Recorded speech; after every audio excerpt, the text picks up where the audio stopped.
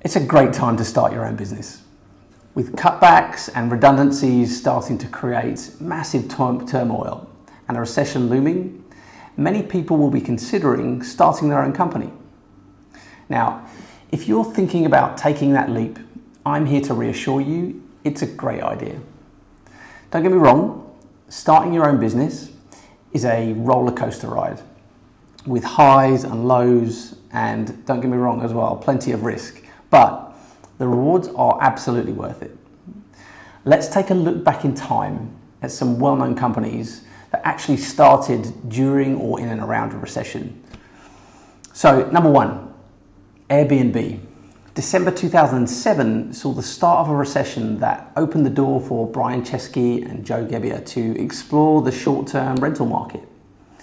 They received VC funding in 2009, and the rest is history. Number two, Electronic Arts, the gaming company. In 1981 and uh, into 1982, the recession saw some devastating unemployment rates. But this didn't stop Tim Hawkins from leaving a secure job working for Apple. And off the back of a booming home computer and gaming market, they have evolved into a $5 billion business with 10,000 plus employees.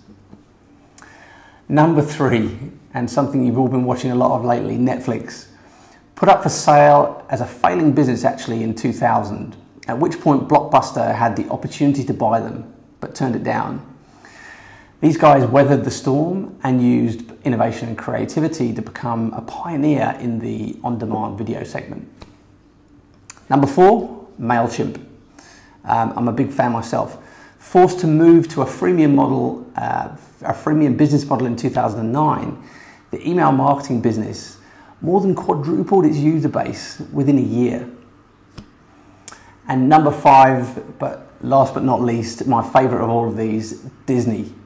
In 1929, Walt and Roy Disney incorporated Walt Disney Productions right at the start of the four year Great Depression. Now, they knew, they must have known, that people still needed to smile, um, and their resilience saw them through.